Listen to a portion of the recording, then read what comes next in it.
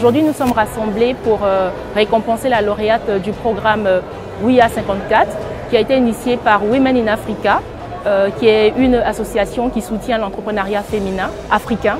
Et Société Générale accompagne ce programme depuis 2017. Et aujourd'hui, nous avons reçu 11 finalistes. Et de ces finalistes est ressortie la grande gagnante qui va être accompagnée. J'ai postulé au programme Human in Africa par le biais d'une connaissance qui m'a encouragé à m'inscrire au programme. Et il faut dire quand je me suis inscrite, je ne m'attendais pas à participer à un programme d'une aussi grande qualité. Ça m'offre depuis quelques jours une grande visibilité et ça m'ouvre des portes. Et je voudrais pour cela remercier la Société Générale ainsi que Human in Africa. J'aimerais remercier euh, la Société Générale de nous avoir accueillis aujourd'hui et euh, de nous soutenir euh, dans notre programme.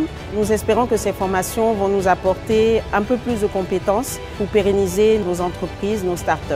Et euh, nous espérons que nos projets soient vraiment des success stories pour la Côte d'Ivoire. C'est avec un grand plaisir qu'on a pris part à toutes les formations.